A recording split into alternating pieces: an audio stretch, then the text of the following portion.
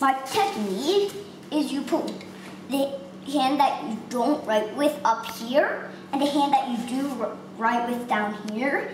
And then our safety check is, so we will be doing a safety check just to make sure that we're both safe, safe before, before I climb and before he belays.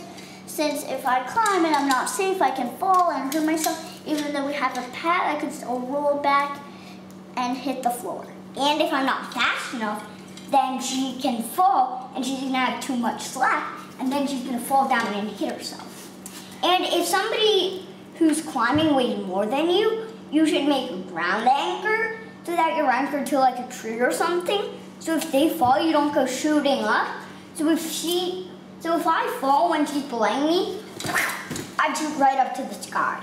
Yes, even though we're here, we have sides, we're indoors, we don't have any trees, so we would just anchor it to like maybe here, somewhere stable on the climbing wall.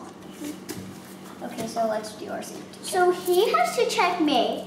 He has to make sure is this big? Is this as big as this? Is it yes. Is it through both of here? Yes. So you have to make sure it's through here, otherwise it could slip out. Both of the gray stones both of these two gray things. And it also kind of wants to be the same size as your belayer. And then he's also going to check me that th these are 10. Okay, so you want to count these two. Two, four, six, eight, ten. Good. And also, if for a grown-up, if you're if there's a grown-up climbing, the grown-ups, since grown-ups do tend to have bigger hands, just like that.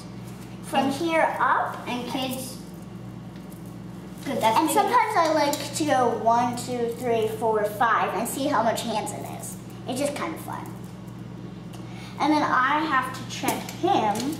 I have to make sure that's through safely, that this is totally locked as tight as possible, and we're pretty much good. But then also, before I climb, I have to say, on the belay? Belay on.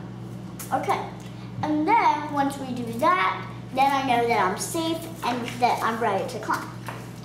Climbing. Climb on.